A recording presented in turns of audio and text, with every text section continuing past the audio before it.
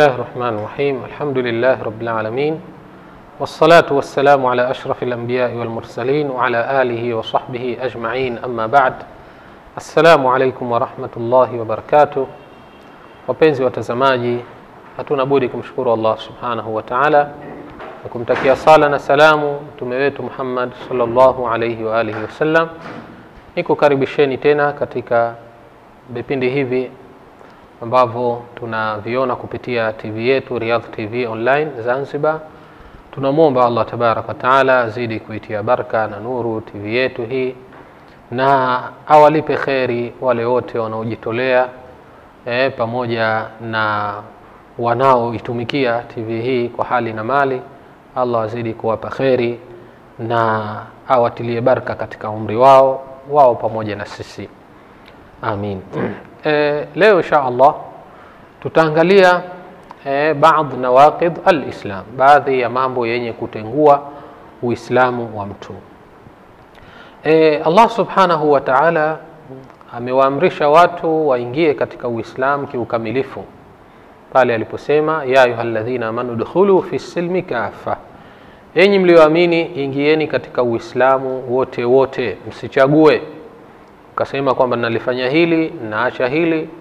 Kwa sababu sifa hiyo eh, ame ameikemea allah subhanahu wa taala katika aya nyingi miongoni mwa hizo pale aliposema wa minan nasi man yabudu llaha ala harf. Miongoni mwa watu kuna wale ambao wanamwabudu allah katika ncha. Fain asabahu khairun itmaanna bih. Wakipata kheri yani jambo zuri hutulizana. Wain asabathu fitna lakini wakipatwa na mtihani inqalaba ala wajhihi hugeuka katika uso wake akabadilika. Khasira dunya wal akhirah anakuwa amekula khasara duniani na akhira dhalika huwa lkhusranu lmubin huko ndiko kula khasara kwa wazi kabisa. Naudhu billahi min dhalika. Na mtume salllahu alaihi waalihi wasallam ameletwa ili awalinganie watu eh, kwamba washikamane na dini ya uislamu na wala wasiache allah tabaraka wataala amesema wama arsalna min qablika min rasul na hatukupeleka kabla yako mtume yoyote illa nuhi ilaihi annahu la ilaha illa ana fabudun. Kwamba hatukumpeleka mtume yoyote isipokuwa tunamfungulia wahi tunampa wahi ya kwamba awaambie wale aliyopelekwa kwa wao kwamba hapana mola apasai kuabudiwa kwa haki isipokuwa mimi basi niabuduni. Na huo ndio uislam hiyo da, ndiyo dawa ya, ya uislam kwamba la ilaha illa llah hapana mola isipokuwa allah subhanahu wa taala. Kwa hiyo mitume wote walikuwa ni waislamu eh, kwa, kwa sababu wao walikuwa wanalingania watu la ilaha illa llah hapana mola wa haqi isipokuwa allah subhanahu wa taala. Na allah subhanahu wa taala ametahadharisha katika aya nyingi kutokana na sababu zote zinazopelekea mtu kutoka katika uislamu na wanazuoni wameangalia sababu hizo kupitia katika qurani na hadithi za mtume sala salam wametuwekea na wametutajia baadhi ya mambo yenye kutengua uislamu. Miongoni mwa mambo yenye kutengua uislamu ni ashirku fi ibadati llah ni kumshirikisha allah subhanahu wa taala katika ibada zake kufanya dhambi ya shirki. Hili moja kwa moja ni katika mambo yanayomtoa mtu katika uislamu wake kwa maana mtu akishashirikisha basi tayari huyo ameshatoka katika uislamu. Na hapa kinachokusudiwa ni ile shirki kubwa shirki katika ibada.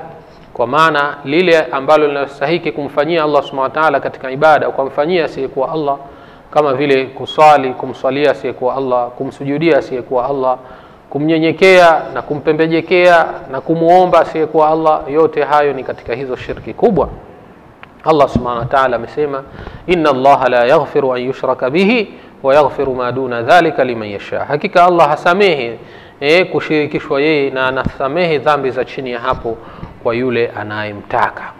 E, kwa hiyo aya hii inatuonyesha kwamba dhambi ya shirki ikiwa mja hakutubia basi allah haisamehe hiyo na inakuwa mtu ametoka kabisa katika uislamu.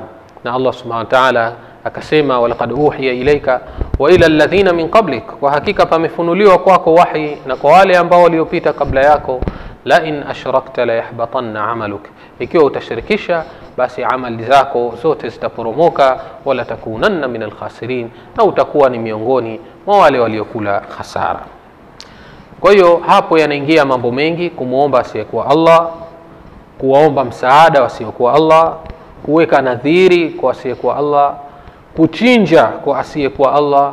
Eh, ukachinja kwa, kwa, kwa kuwa tu umeambiwa na sheitani kwamba uchinje ili upoe au uchinje ili mambo yako yatengenee, ndo ukachinja, basi ujue kwamba hiyo ni shirki kubwa, na inatakiwa mtu alete toba ya kweli ili Allah aweze kumsamehe alete toba ya kweli na aingie tena katika Uislamu, kwa sababu inakuwa ametoka katika Uislamu wake. Jambo la pili katika mambo ambayo yanamtoa mtu katika Uislamu ni kwamba man jaala bainahu wa baina Allahi wasait, ni ile mtu kufanya baina yake baina ya Allah subhanahu wa ta'ala eh, na baina yake yeye kuwepo na waunganishi wasait, waunganishi yaduuhum, ambao anawaomba, yani maombi yanapitia kwao ili kwamba ndo wayafikishe kwa Allah subhanahu wa ta'ala. Wayasaluhum shafaa, na akawa anawaomba uombezi. Wayatawakkalu alaihim, na akawa anawategemea eh, yale maombi yake kwanza na, anaona kwamba yapitie pale, basi mtu huyu inakuwa ametoka katika Uislamu ijmaan, kwa makubaliano ya Waislamu wote. E, ka ibadati lauliya, mfano ni kama vile kuwaabudu wale ambao wanaoitwa mawalii. E, ikawa mtu anaitwa walii e, ikawa watu wanakwenda kuomba pale, halafu wanaamini ya kuwa maombi yao yakitoka pale basi yatafika kwa Allah subhanahu wa ta'ala, kwa kuwa walii yule yuko karibu na Allah eh, au alasnam, masanamu, mizimu eh, kwenda kuwaomba ili kwamba wakufikishie maombi yako kwa Allah subhanahu wa ta'ala na wengineo. Allah subhanahu wa ta'ala amesema, wala tad'u min duni llah, na wala usiombe wasiokuwa Allah, ma la yanfa'uka wala yadhuruk, wale ambao au vile vitu ambavyo havikunufaishi wewe wala havikudhuru. Fa in fa'alta fa innaka idhan min adh-dhalimin, ukifanya hivyo basi wewe utakuwa ni miongoni eh, mwa wenye kudhulumu, miongoni mwa wale ambao walioingia katika shirki. Kwa hiyo inatakiwa kwamba tusiweke viunganishi. Ukitaka kumwomba Allah muombe moja kwa moja. wa idha sa'alaka ibadi anni, wakikuomba waja wangu, wakikuuliza waja wangu kuhusu mimi, fa inni qarib, mimi niko karibu. Ujibu da'wata da'i idha naitikia maombi ya muombaji anaponiomba. Eh, kwa hiyo Allah subhanahu wa ta'ala hahitaji kiunganishi, na aya hii ukizingatia ni tofauti na hizo aya nyingine zinazokuja wanakuuliza wayasalunaka anil mahid qul huwa adha, wanakuuliza kuhusiana na hedhi, sema huo ni uchafu. Wayasalunaka anil ahilla, wanakuuliza kuhusiana na miezi, qul hiya mawaqitu linnas, sema hiyo ni nyakati kwa ajili ya watu. Lakini e, ikija katika mambo ya dua, wa idha saalaka ibadi anni, wanapokuuliza waja wangu kuhusu mimi, fa inni qad, basi mimi niko karibu. Haikuja faqul, sema, kuonesha kwamba hata ile kusema eh, kiunganishi kile hakitakiwi kiwepo.